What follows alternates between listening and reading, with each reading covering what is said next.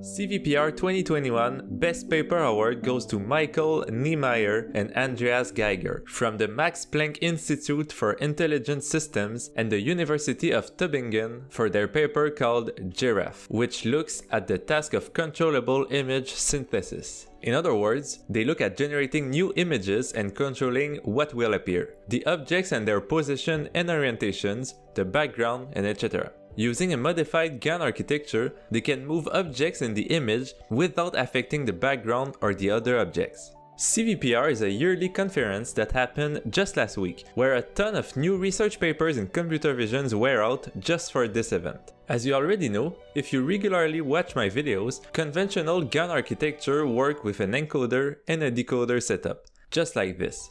During training, the encoder receives an image, encodes it into a condensed representation, and the decoder takes this representation to create a new image, changing the style. This is repeated numerous times with all the images we have in our training dataset, so that the encoder and decoder learn how to maximize the results of the task we want to achieve during training. Once the training is done, you can send an image to the encoder and it will do the same process, generating a new and unseen image following your needs. It will work very similarly whatever the task, whether it's to translate an image of a face into another style like a cartoonifier or to create a beautiful landscape out of a quick draft. Using only the decoder, which we also call the generator since it's the model responsible for creating the new image, we can walk in this encoded information space and sample information that we send the generator to generate an infinite amount of new images. This encoded information space is often referred to as the latent space, and the information we use to generate the new image, the latent code. We basically select some latent code randomly within this optimal space and it generates a new random image following the task we want to achieve, following a training process of this generator, of course. This is incredibly cool, but as I just said, the image is completely random, and we have no or few ideas of what it will look like, which is already a lot less useful for creators. This is the problem they attacked with this paper. Indeed, by taking latent codes of the shape and appearance of objects and sending it to the decoder or generator, they are able to control the pose of the objects, which means they can move them around, change their appearances, add other objects, change the background, and even change the camera pose. All these transformations can be done independently on each object or background without affecting anything else in the image. As you can see, it's much better than other GAN-based approaches that typically cannot disentangle the objects from one another and are all affected by the modification of a specific object.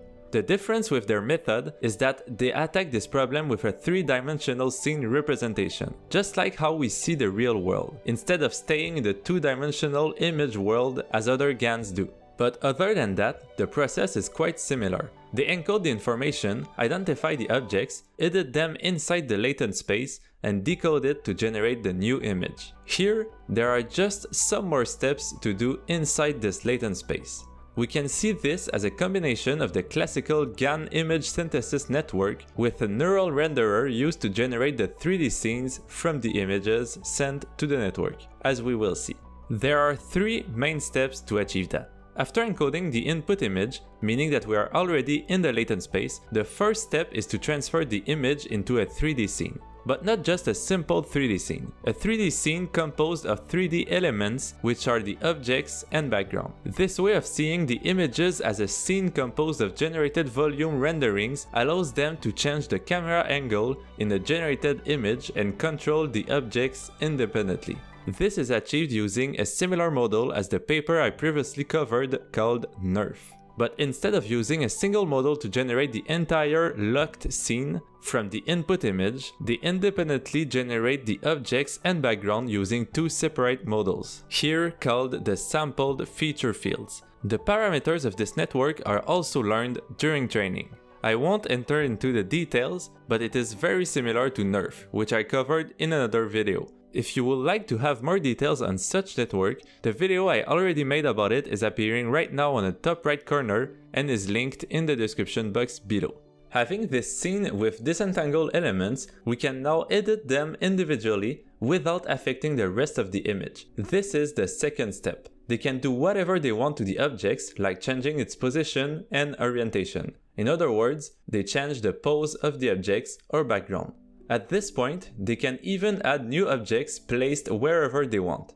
Then, they simply combine them into a final 3D scene containing all the objects and background by adding all feature fields together. Finally, we have to come back to the two-dimensional world of natural images.